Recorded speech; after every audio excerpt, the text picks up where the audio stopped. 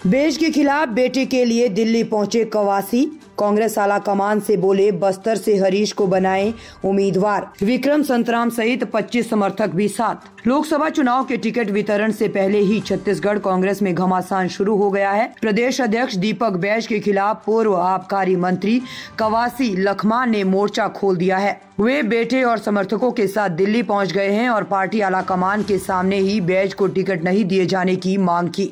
दीपक beige Bastar से सांसद है। इस बार दीपक बेज के साथ ही कवासी लखमा और हरीश लखमा का नाम लोकसभा टिकट के लिए सबसे ज़्यादा चर्चा में है। कहा जा रहा है कि कवासी लखमा और समर्थकों की इच्छा है कि टिकट हरीश को ही मिले। कवासी लखमा और उनके बेटे हरीश लखमा के साथ ही विक्रम मंडावी, संतराम नेताम, मिथिलेश स्वर्णकार राजीव शर्मा, राजमन बेंजाम समेत कुछ जिला अध्यक्ष और जिला पंचायत सदस्य भी दिल्ली पहुँचे हैं। इन्होंने हाईकमान से कवासी या उनके बेटे हरीश को टिकट दिए जाने की मांग की है।